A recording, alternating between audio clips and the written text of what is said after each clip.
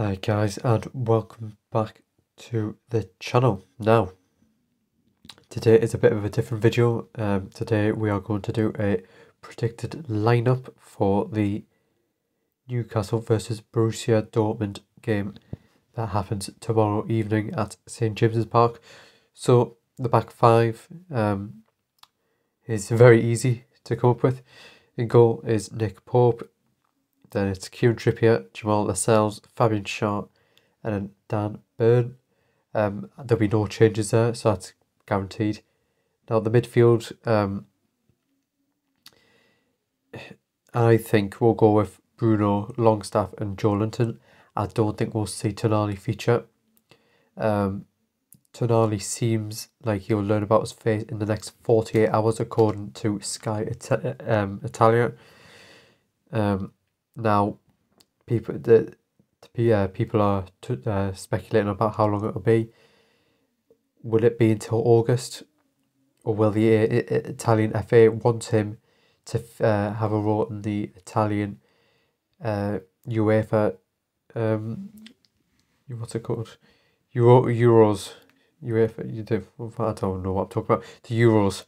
Um, so will they contradict themselves? I don't think they will, and I don't think we'll see him until August of next year, ready for the 24-25 season. Now, in attack, uh, it's worth mentioning that uh, Joe Willock is finally back from injury. Um, he has been out since the end of last season. I don't think we'll see him feature until at least. I don't think we'll see him until around late November, early December, um, as it has been as I say, November since we last saw him feature.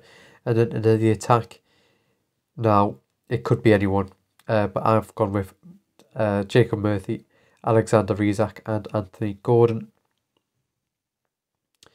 Now, could we see we could see Almiron come in for Murphy, but with the form that Murphy's in and uh, the two uh, assists that he got on Saturday and the goal, I don't think you can drop him. I think Saturday is a game of rest players, and today, uh, uh, Wednesday is obviously a game that we need to attack. If we win this game, I think we are pretty much guaranteed to get out of our group.